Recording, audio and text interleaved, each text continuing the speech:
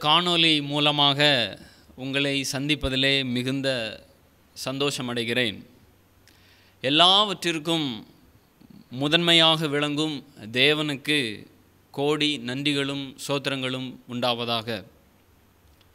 நான் செய்தியை ஆரம்பிப்பதற்கு முன்பாக ஒரு சிறிய எடுத்துக்காட்டை கூறி செய்திக்குள்ளாக கடந்து செல்லலாம் என்று நான் நி- நினைக்கிறேன். அது செய்திக்கு ரொம்ப பிரோஜனமாக இருக்கும் என்று நான் நம்புகிறேன். ஒரு தொழில் நி- நிறுவனத்தை நம்ம எடுத்துக்கிட்டான்னா அதில் நிறைய கோல்ஸ் இருக்கும் நிறைய இலக்குகள் இருக்கும். இந்த இலக்குகளை நிறைவேற்றுறதுக்கு தான் யார் இருப்பாங்கன்னா வேலையாட்கள் இருப்பாங்க.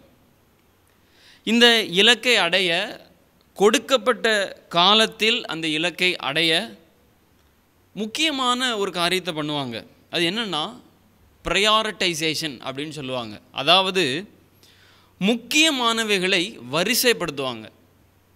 இந்த வரிசையின் அடிப்படையிலே அந்த காரியத்தை அந்த வேலையை அவங்க தொடரும்போது அது முடிவில் அதனுடைய லக்கை அவங்க நியமித்த அந்த கோலை அவங்க வந்து அடைஞ்சிருவாங்க. அப்போ இதில் முக்கியமான ஒரு காரியம் என்னன்னு கேட்டிங்கன்னா ப்ரையாரிட்டைசேஷன் அதாவது முக்கியமானவைகளை வரிசைப்படுத்துவதற்கு. எதுக்குன்னா அந்த லக்கை அடைவதற்கு. எஜமானனுடைய அந்த நோக்கை நிறைவேற்றுவதற்கு. இதுக்கு இந்த கம்பெனியினுடைய அந்த மெயின் பொசிஷனில் இருக்கக்கூடிய அந்த எஜமானனும் மிக உதவியார் மிக உதவியாக இருப்பார். அந்த வேலையாட்களை தேற்றுவார் அந்த வேலையாட்களை ஆற்றுவார் அவங்களுக்கு சில வெகுமதிகளை கொடுத்து அவங்கள உற்சாகப்படுத்துவார். எதுக்குன்னா அவருடைய ஏம் இந்த லெக்கை அடையணுங்கிறதுக்காக. அவருடைய ஏம் இந்த லெக்கை அடையணும். அதற்காக இந்த வேலை ஆட்களை அவர் பயன்படுத்துகிறார். இது உலக பிரகாரமான ஒரு சம்பவம். ஆவிக்குரிய ரீதியாக இதை நம்ம பார்க்குற வேளையில் தேவன் நம்மை கொண்டு அதாவது திருச்சபையை கொண்டு சில இலக்குகளை நிறைவேற்ற அவர் விரும்புகிறார். தேவனுடைய நோக்கத்தை நிறைவேற்ற தம்முடைய பிள்ளைகளை அவரை பின்பற்றி வரும் சீஷர்களை அவர் பயன்படுத்துகிறார். இந்த தேவ நோக்கத்தை நிறைவேற்றுறதுக்கு நாம் ப்ரையாரிட்டி பண்ண பண் பண்ணுவதற்கு முன்பாக தேவனே சில காரியங்களை முக்கியத்துவப்படுத்தி இதனி முதலாவது செய் இதனி இரண்டாவது செய் இதனி முன்பு செய் இதை இதற்கு பின்பு செய்ன்னு சொல்லிட்டு அவர் அவருடைய நோக்கத்தை நம்மூலமாக நிறைவேற்றுவதற்காக சட்டத்திட்டங்களை நம்ம கொடுத்துருக்கிறார். அவர் முக்கியமானவைகளை வரிசைப்படுத்தி நம்ம கையில் கொடுத்துருக்கிறார். நம்ம வேலை என்னென்னா இந்த வரிசையை மாற்றாதபடிக்கு அப்படியே கீழ்ப்படுகிறது கீழ்ப்படுகிறது தான் இந்த வரிசையை நாம் மாற்றுவோமானால் நாம் வழி விலகி விடுவோம். இன்றைக்கி இந்த வரிசையை தேவன் கொடுத்த இந்த வரிசையை மாற்றுகிறபடினால தேவனுடைய நோக்கம் நம் மூலமாக அதாவது திருச்சபையின் மூலமாக நிறைவேறாமல் போகிறத நம்ம பார்க்குறோம். அதனால் இன்றைய நாளிலும் செய்திக்கு தலைப்பாக முதலிடம் முக்கியமானதற்கே என்று நம்ம ஒரு தலைப்பை கொடுத்துக்கலாம். முதலிடம் முக்கியமானதற்கே. தேவன் திருச்சபையை கொண்டு செய்ய விரும்புகிற தம்முடைய நோக்கத்தை தேவன் திருச்சபையை கொண்டு அடைய வேண்டிய சில இலக்குகளை கட்டளையாக வரிசைப்படுத்தி முக்கியமானவைகளை வரிசைப்படுத்தி திருச்சபையின் இடத்துல கொடுத்துருக்கிறார். இன்றைக்கி திருச்சபையில் இருக்கக்கூடிய மக்களாகிய நாம் இந்த தேவ நோக்கத்தை நிறைவேற்றுகிறோமா அப்படிங்கிற ஒரு கேள்வியை நம்ம கேட்டு பார்க்கணும். தேவ நோக்கத்தை நான் நிறைவேற்றுகிறேனா என்பதை ஆராய்ந்து பார்க்க நான் உங்கள் மத்தியிலே மூன்று கேள்விகளை மையமாக வைத்து இன்றைய நாளில் நாம் தியானிக்க இருக்கிறோம். முதல் கேள்வி தேவ நோக்கம் என்னில் நிறைவேற? கிறிஸ்தவனே உன் கவலை என்ன? தேவ நோக்கம் என்னில் நிறைவேற? கிறிஸ்தவனே உன் கவலை என்ன? வேதம் கூறுகிறது அவரை நம்பி தேவனை நம்பி அவரை பின் செல்கிற தம்முடைய சீஷர்களை பார்த்து வேதம் கூறுகிறது நீங்கள் பூமிக்குரிய காரியத்தை குறித்து கவலைப்படாதுருங்கள். நீங்கள் பூமிக்குரிய காரியத்தை குறித்து என்ன செய்யாதீங்க? நீங்கள் கவலைப்படாதீங்க. என்னத்தை உண்போம்? என்னத்தை உடுப்போம்? என்னத்தை குடிப்போம்னு சொல்லி இந்த பூமிக்குரிய காரியத்தை குறித்து கவலைப்படாதீங்க. ஏன்னா நீங்கள் வானத்தையும் பூமியும் சர்வசேனையும் படைத்த தேவனை பின்பற்றுகிறபடினால நீங்கள் இந்த பூமிக்குரிய காரியத்தை குறித்து நீங்கள் கவலைப்படாதீங்க. பவுல் பிலிப்பு சபைக்கு எழுதும்போது அவர் இப்படியாக சொல்கிறாரு பிலிப்பியர் நாலாவது அதிகாரம் ஆறாவது வசனத்தில் நீங்கள் ஒன்றுக்கும் கவலைப்படாமல் அப்படின்னு அவர் எழுதுறாரு. அதாவது பூமிக்குரிய காரியத்தை குறித்து நீங்கள் கவலையே படாதீங்க. ஏன்னா நம்முடைய தேவைகளை அவர் இன்னதென்று அறிந்து அதினதின் காலங்களிலே அவைகளை அவர் நிறைவேற்றுகிறவராக இருக்கிறார். அதனால் பூமிக்குரிய காரியங்களை குறித்து நீங்கள் கவலையே படாதீங்கன்னு சொல்லிட்டு வேதத்தில் திருப்பி திருப்பி எழுதப்பட்டிருக்கிறத நம்ம இங்கொன்று அங்கொன்றுமாக நம்ம பார்க்கிறோம். ஆனால் இதே வேத புஸ்தகம்தான் சொல்லுகிறது நீங்கள் கவலைப்படணும்னு சொல்லிட்டு. எதுக்கு நீங்கள் கவலைப்படணும் அப்படின்னு கேட்டிங்கன்னா எபிரேயர் ரெண்டாவது அதிகாரம் நாலாவது வசனம் சொல்லுது உன்னுடைய ஆத்மா ரட்சிப்பை குறித்து கவலைப்பட வேண்டும் என்று வேத வார்த்தை சொல்லுது. பூமிக்குரிய தேவைகளை குறித்து நீ கவலைப்படாத ஆனால் உன்னுடைய ஆத்மா ரட்சிக்கப்பட வேண்டும் என்று சொல்லி நீ என்ன செய்ய அதற்காக நீ கவலைப்படு.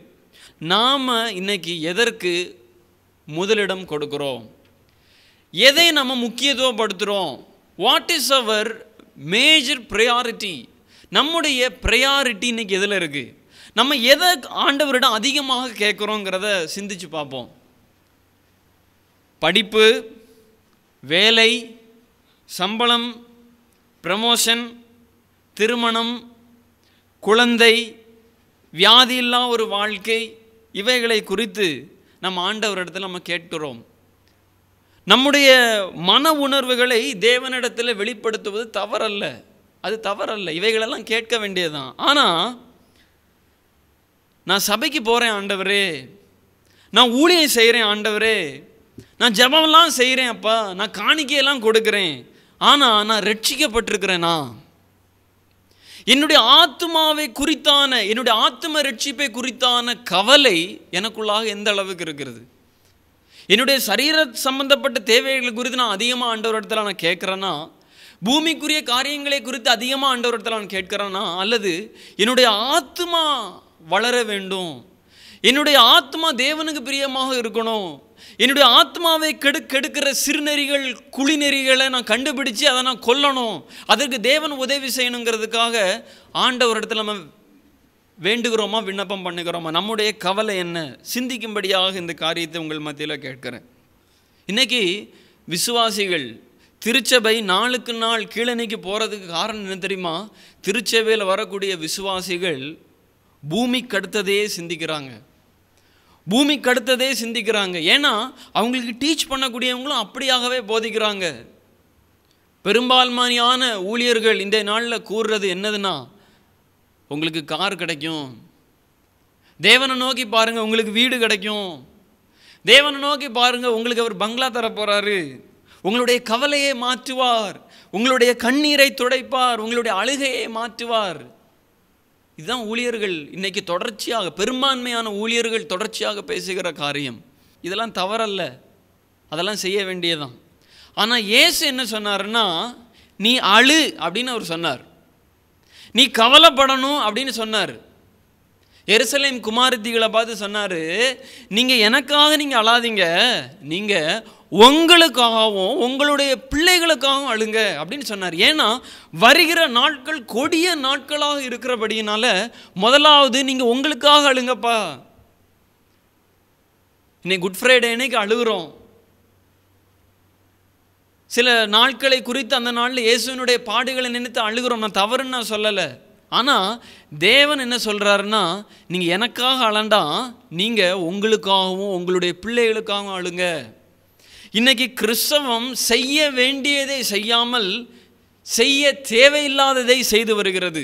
அதனால தான் கிறிஸ்தவ சபைக்குள்ளாக இன்றைக்கி பின்மாற்றக்காரங்க நிறைஞ்சிருக்கிறாங்க. அதனால தான் இன்றைக்கி புறஜாதி கிறிஸ்துவை ஏற்றுக்கிடாமல் இருக்கிறான். நம்முடைய கல கவலை என்ன? நாம் எதற்காக அதிகமாக கலங்குறோம்? நம்ம எதற்காக அதிகமாக கவலைப்படுகிறோம்? இயேசு சொன்னார் நீங்கள் உங்களுக்காக உங்களுடைய பிள்ளைகளுக்காக அழுங்கன்னு சொல்லிட்டு. நம்ம இன்னைக்கு அழுகிறோம் இல்லையா? ஸ்கூலில் சீட்டு கிடைக்கணும். காலேஜில் சீட் கிடைக்கணும். டுவெல்த்து எக்ஸாமுக்கு பாஸ் பண்ணணும் அப்படின்னு சொல்ல உபவாசம் இருந்து ஜெபிக்கிறோம். போகிற இடத்துல கூட்டிகிட்டு போய் தலையில் கை வச்சு ஜெபிக்கிறோம். இதெல்லாம் தவறல்ல. அதெல்லாம் செய்ய வேண்டியதுதான். ஆனால் என்னைக்காவது நம்ம யோசித்து பார்க்கணும் என் பிள்ளை ஆலயத்துக்கு போகிறான் ஆண்டவர். என் பிள்ளை ஊழியத்துக்கெல்லாம் போகிறான் என் பிள்ளை பயங்கரமாக ஜெபம் பண்ணுறான் ஒர்ஷிப்லாம் பண்ணுறான் ஆனால் அவன் ரட்சிக்கப்பட்டிருக்கிறானா அப்படிங்கிறத நம்ம ஆராய்ஞ்சு பார்த்துருக்குறோமா? அவனுக்கிட்ட மனம் திரும்புதலுக்கு ஏற்ற கனிகள் வெளிப்பட்டிருக்கிறதாங்கிறத யோசிச்சு பார்த்துருக்குறோமா சில விதமான நற்கனிகள் சில விதமான நற்பண்புகளை வைத்து என் பிள்ளை நல்லா இருக்கான் அப்படிங்கிறத நம்ம திருப்திப்பட்டுக்கிறோமே தவிர அவங்களுக்கும் தேவனுக்கும் என்ன உறவு இருக்கிறதுங்கிறத நம்ம சோதிச்சு பார்த்துருக்குறோமா? எது எதுக்கெல்லாமோ அழுகுறோம். எது எதுக்கெல்லாமோ நம்ம தேவனுடைய இடத்துல கதறோம் முறையிடுறோம் புலம்புறோம். ஆனால் என் பிள்ளை ரட்சிக்கப்படணுங்கிறதுக்காக நம்ம அழுகுறோமா அப்படிங்கிறத யோசிச்சு பார்க்கணும். யாராவது நம்ம இடத்துல நம்முடைய பிள்ளைகளை பற்றி ஏதாவது கேட்டாங்கன்னா அவங்கள்ட்ட நம்ம இப்படியாக சொல்லிடுறோம். எப்படி? திருப்பி திருப்பி சொல்கிறேன் கேட்கல. என்ன செய்கிறதுக்கு அப்படின்னு சொல்லிட்டு கையை விரிக்கிறோம். அநேக உபதேசங்களை திருப்பி திருப்பி என்னுடைய பிள்ளைக்கு நான் சொல்லிக் கொடுக்குறேன்.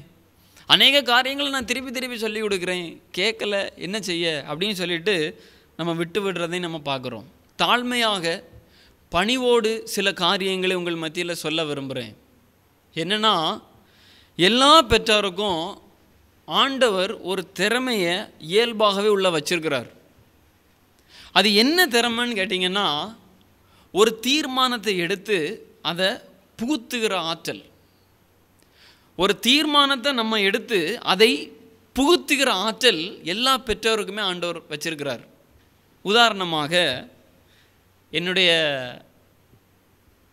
வகுப்பில் நான் ஆசிரியராக பணி புரிந்து கொண்டிருக்கிற வேளையில் என்னுடைய வகுப்பில் ஒரு குழந்தை படித்தது அந்த பெற்றோருக்கு ஆசை என்னென்னா அந்த குழந்தைய டாக்டராக மாற்றணும்னு சொல்லிட்டு. அதனால் அந்த குழந்தைக்கு வீட்டிலே நல்ல செதஸ்கோப்பு டாக்டர்ஸ் போடக்கூடிய அந்த கோட்டு இப்படிலாம் நிறைய அந்த மெடிக்கல் சம்மந்தப்பட்ட எல்லா காரியத்தையும் வாங்கி கொடுத்துருக்குறாங்க.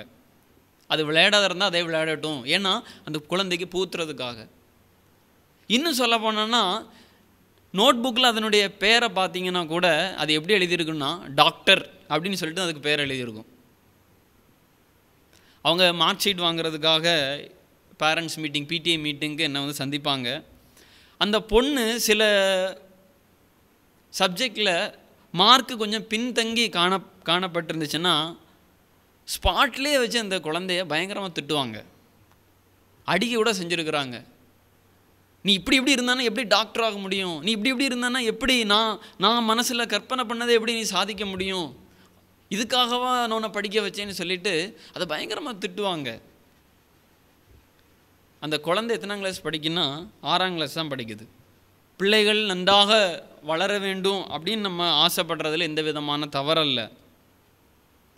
ஆனால் இதில் ஒரு காரியம் நம்ம நின்று யோசிக்கக்கூடிய காரியம் என்னென்னா இதில் தீர்மானம் எடுத்தது யார் அப்படின்னு கேட்டிங்கன்னா அது பெற்றோர்.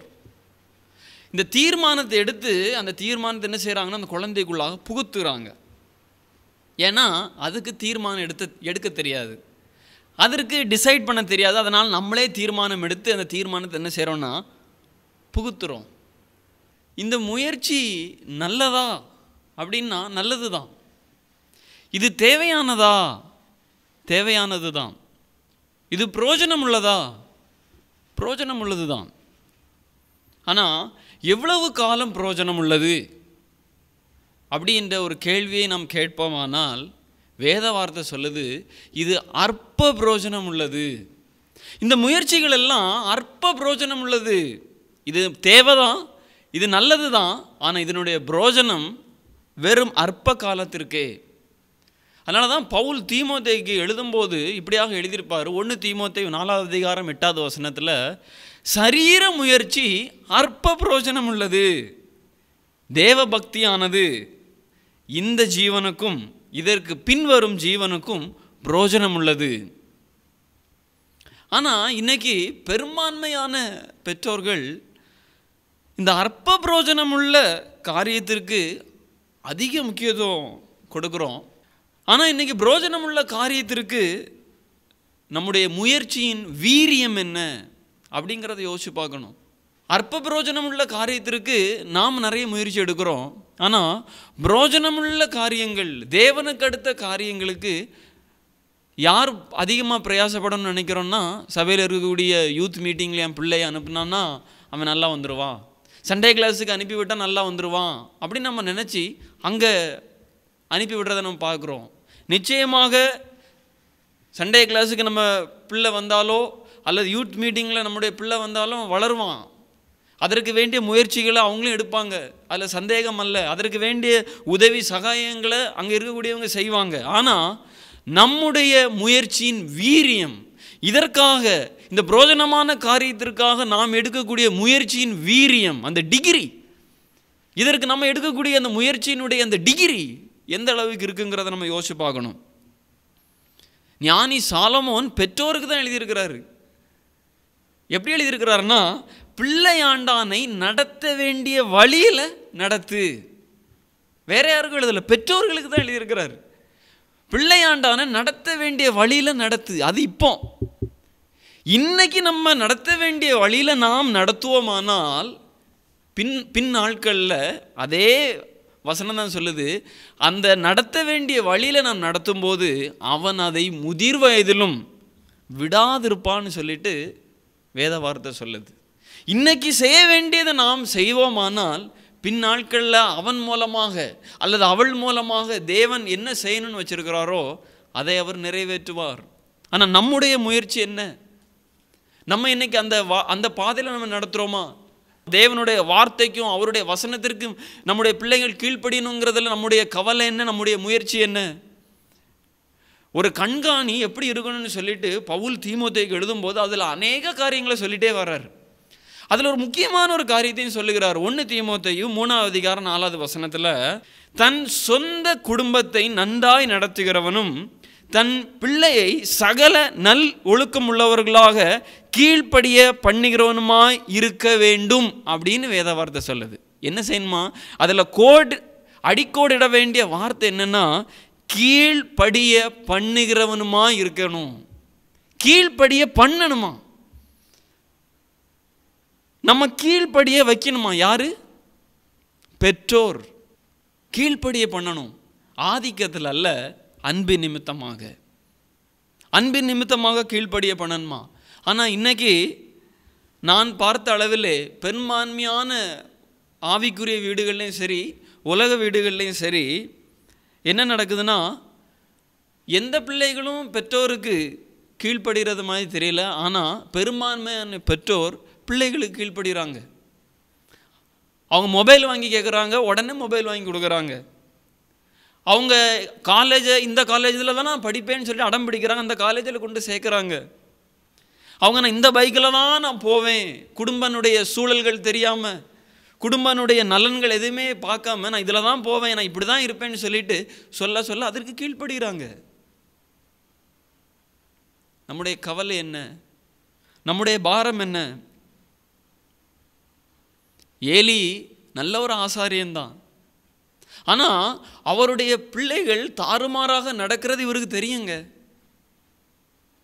கூப்பிட்டு அநேக வார்த்தைகள் மூலமாக ஏலி தன்னுடைய பிள்ளைகளை எச்சரிக்கிறார். அது உண்மைதான்.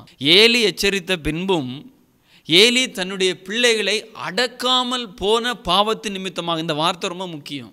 அடக்காமல் போன பாவத்து நிமித்தமாக ஏலியினுடைய வீட்டில் நீங்காத நியாய தீர்ப்பு வந்ததுன்னு வேத வார்த்தை சொல்லுது. நம்ம தாங்க அடக்கணும். அன்பு நிமித்தமாக. ஆதிக்கத்தினால் அல்ல ஒரு ஜெபத்தோடு தேவனுடைய ஒரு உதவியோடு அவருடைய ஆலோசனையோடு அவருடைய நல்ல வழி வழிகாட்டுதலோடு நம்ம தான் நம்முடைய பிள்ளைகளை அடக்கணும்.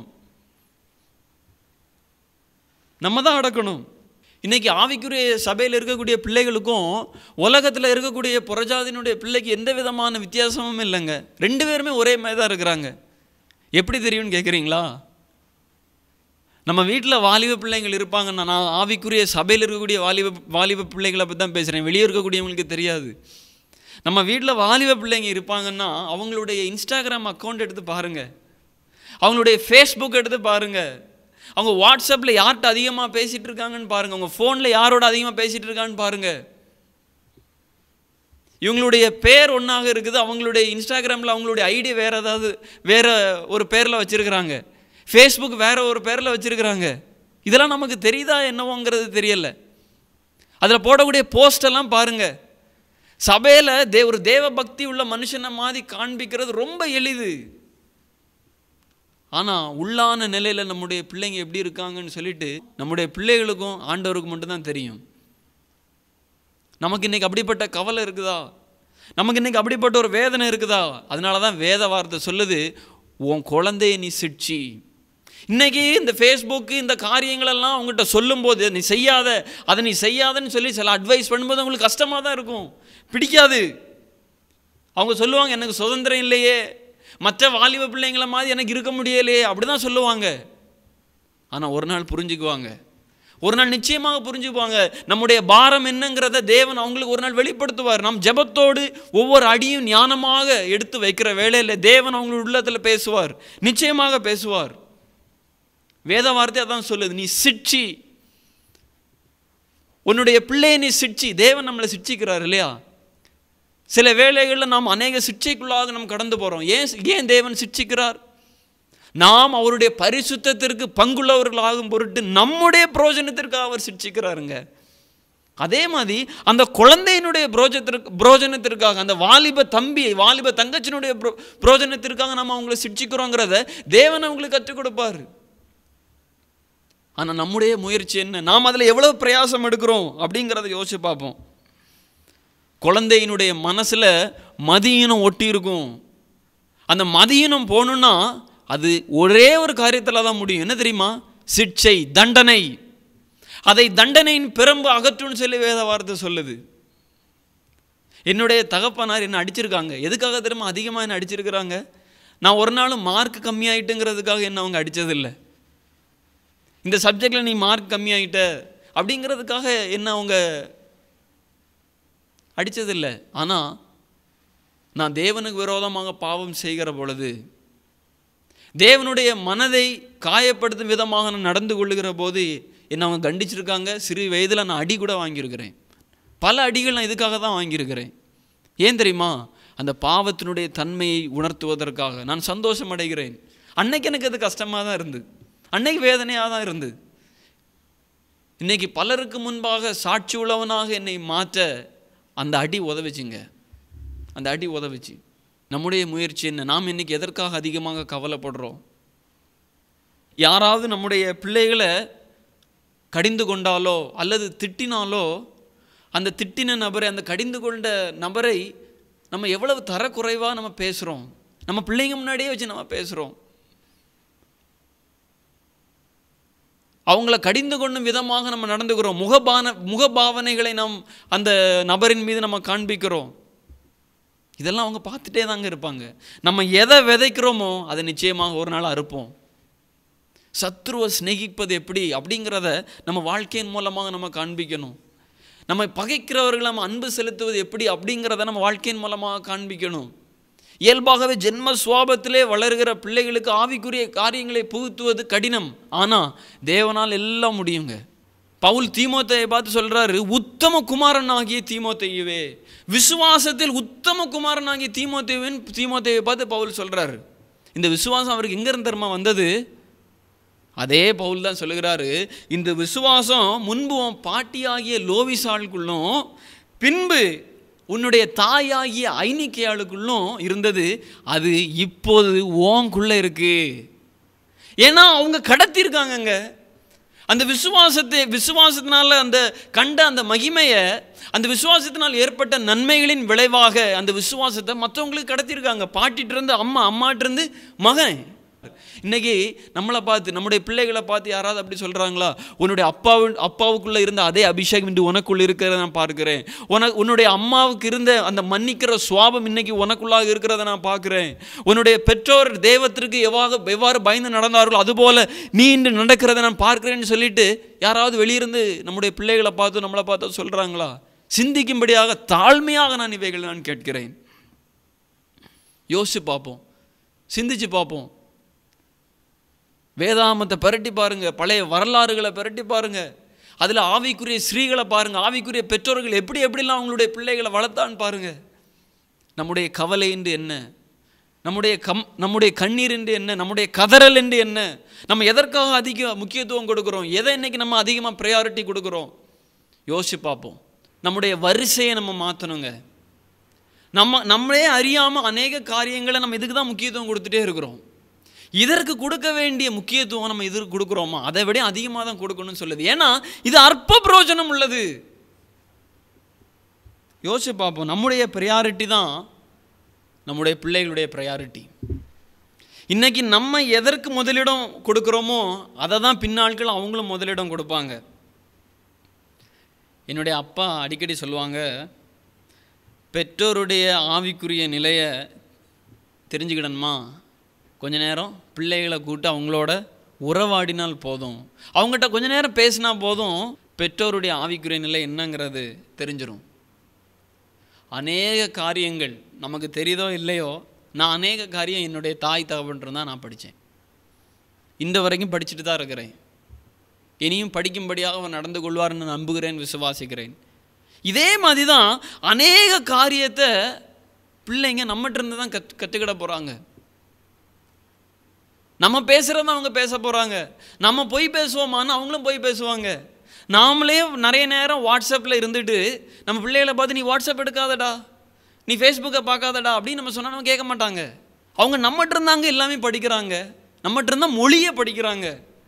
அதனால தான் தாய்மொழி அப்படின்னு பேர் வந்துச்சு. ஏன்னா குழந்தை ஒரு மொழி எங்கேருந்து படிக்குதுன்னா தாயிட்டிருந்து படிக்குது. தாயிட்டிருந்து அந்த மொழியை படிக்குது. நம்ம என்ன செய்கிறோமோ அதை தாங்க நம்ம நமக்கு பின் பின் வரக்கூடிய சந்ததி நிச்சயமாக செய்யும். சபையில் நம்மளே நம்ம ஒரு தேவ பக்தி உள்ளவர்களாக காட்டுவது மிக மிக எளிது. ஆனால் வீட்டிலே நம்முடைய நடத்தை நம்மை தேவ பக்தி உள்ளவர்களாக வெளிப்படுத்துகிறதா? நம்மை ஒரு தேவ மனுஷனாக காட்டுகிறதா அப்படிங்கிற ஒரு கேள்வியை நம்ம கேட்டு பார்ப்போம். இன்னைக்கு லீவ் டேஸில் தான் இருக்கிறோம். நிறைய நாட்கள் விடுமுறையில் தான் இருக்கிறோம். நம்ம எதை செய்கிறோம் எதை செய்யபடியுமா எதை எதை செய்யும்படியாக தூண்டப்படுகிறோம்? நம்முடைய பிள்ளைகளுக்கு நம்ம எதை உற்சாகப்படுத்துகிறோம்? யோசிச்சு பாருங்கள் நிச்சயமாக யோசிச்சு பாருங்க. இந்த லீவ் டேஸில் ஜெபத்தோடு ஒரு தேவ ஆவியானோருடைய நடத்துதலோடு நற்காரியங்களை கற்றுக் கொடுக்க நம்ம முன் வருவோம். நிச்சயமாக ஒரு உபவாசத்தோடு. ஆண்டோருடைய சமூகத்தில் அழுது ஆண்டவரே என் பிள்ளையை நீங்கள் ரட்சிங்க. அதுக்கு அந்த ரட்சிப்பின் தன்மையை நம்ம உணர்ந்தாதான் நம்ம தாயும் தகப்பமா தகப்பனுமா இணைஞ்சு தாயும் தகப்பனுமா இணைஞ்சு பிள்ளைகளுடைய ரட்சிப்பாக நம்ம ஜெபிப்போம். நமக்கே அந்த ருசி தெரியலன்னா நம்ம அதை நம்ம அதை மற்றவங்களுக்கு கடத்த முடியாது. அதனால் போதனையால் சாதிக்க முடியாத விஷயங்களை நம்முடைய நடக்க சாதிக்குங்க. இதற்கு நான் தான் சாட்சி. என்னுடைய தாய் தகப்பன் தான் சாட்சி. போதனையால் சாதிக்கப்பட முடியாத விஷயங்களை நடக்க சாதித்து காணிக்கும். தேவனுடைய வார்த்தையின் அடிப்படையிலே நாம் நடப்போமானால் இந்த ரட்சிப்பினுடைய மகிமையை நாம் அறிந்து அதற்கேற்றபடியே நாம் நடப்போமானால் நிச்சயமாக நிச்சயமாக நம்முடைய நடக்கையை பார்த்து அவங்களுடைய வாழ்க்கையிலே தேவன் அநேக கிரியைகளை செய்வார். நிச்சயமாக செய்வார். நம்ம இன்னைக்கு எதற்காக அழுகிறோம்? நம்முடைய ப்ரையாரிட்டி இன்னைக்கு எது எது எதுக்கு அதிக முக்கியத்துவம் நம்ம கொடுக்குறோம்? நம்முடைய ப்ரையாரிட்டி இன்னைக்கு என்ன? யோசிச்சு பார்ப்போம். அழுவோம் நம்ம. அன்றைய நாளில் சூசன்னா வெஸ்லிக்கு பத்தொம்போது பிள்ளைங்க. பத்தொம்போது பிள்ளைங்க அவங்க அன்னைக்கு அழுதாங்க. சரித்திரம் சொல்லுது அவங்க அழுதாங்க. பூமிக்குரிய காரியத்திற்காக அழலை. என் பிள்ளை அப்படி வரணும் என் பிள்ளை இப்படி வரணுங்கிறதுக்காக அழலை. என் பிள்ளை உங்களுக்காக எழுமணும் ஆண்டவரே. இந்த பத்தொம்போது பிள்ளைகளும் உங்களுக்காக எழுமணும்ப்பான்னு சொல்லிட்டு அவங்க ஒவ்வொரு நாளும் அழுவாங்களாம். ஒவ்வொரு நாளும் இரவு படுக்கும்போது படுக்க போகும்போது பிள்ளையுடைய தலையில் கையை வச்சு அவங்க ஜெபம் பண்ணுவாங்களாம். எதற்காக தெரியுமா? என் பிள்ளைங்க இந்த உலகத்தில் பெருசாக வரணுங்கிறதுக்காக இல்லை என் பிள்ளைகள் உமக்காக எரியணும். உமக்காக சாட்சியாக வாழணும்னு சொல்லிட்டு பத்தொம்போது பிள்ளைங்களுடைய தலையிலையும் கை வச்சு அவங்க ஜெபிப்பாங்களாம். அவங்க அழுதாங்க அவங்க முயற்சி எடுத்தாங்க. நடந்தது என்ன தெரியுமா? இங்கிலாந்து தேசத்தை அசைய பண்ணுவதற்காக தேவன் இந்த சூசன்னா வெஸ்னியினுடைய புதவலனாக ஜான் வெஸ்லியை தெரிஞ்சுக்கிட்டார். இந்த ஜான் வெஸ்லியை வச்சு தான் இங்கிலாந்து தேசத்தை அவர் அதிர பண்ணார். ஏன் தெரியுமா?